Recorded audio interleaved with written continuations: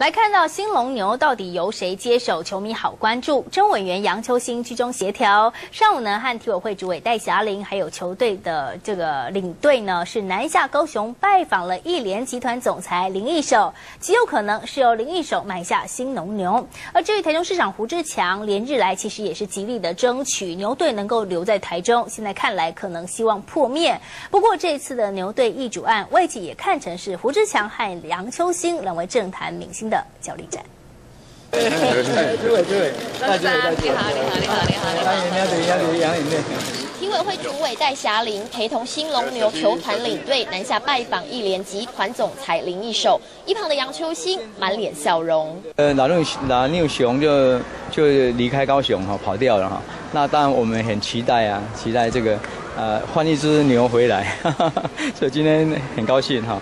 居中协调新龙牛易主案，杨秋兴显得相当兴奋。一联集团到底会不会接手经营？在这新龙牛呢，经经过啊，这个球迷跟这个啊跟社会有这个，我们会考虑看怎么来跟他啊，这个因为他每一年亏这么多，要要怎么样来啊跟他挑战来谈。你一手强调有兴趣经营球队，但新龙牛的亏损问题也必须要审慎评估。